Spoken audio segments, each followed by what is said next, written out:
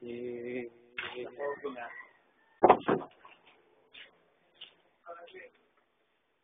Ay, ayun. Tota ka ba? ah?